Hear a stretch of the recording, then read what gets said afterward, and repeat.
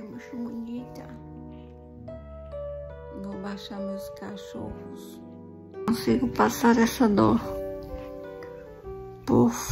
Hoje o dia está sendo asquerosamente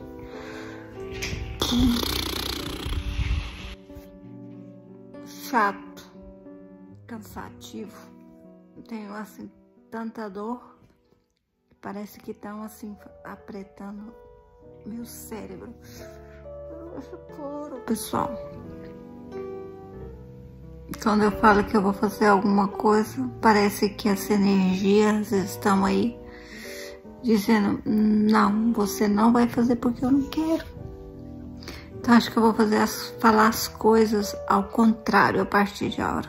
Até minha voz me, me chateia porque é como que eu tenho uma zabumba dentro da minha cabeça, assim, apertando. Oh, que horror. Agora eu vou descer os cachorros, vou aproveitar. vou tomar meu, outra, outra vez remédio, para ver se diminui essa tensão que eu tenho na cabeça e no pescoço. Me dói tudo, tudo, tudo. Me está voltando a ficar vermelho de novo. E nada, pessoal. Boa noite. Amanhã será um dia bom. Amanhã é meu segundo dia de reabilitação. E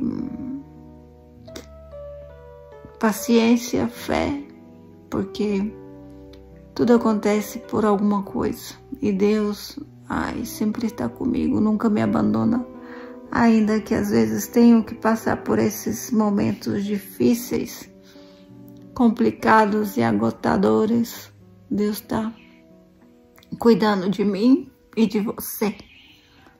Hay que ter fé, fé em nosso Senhor Jesus, porque Deus Pai poderoso nos está cuidando, guiando e dando-nos todos os dias uma oportunidade de ser feliz.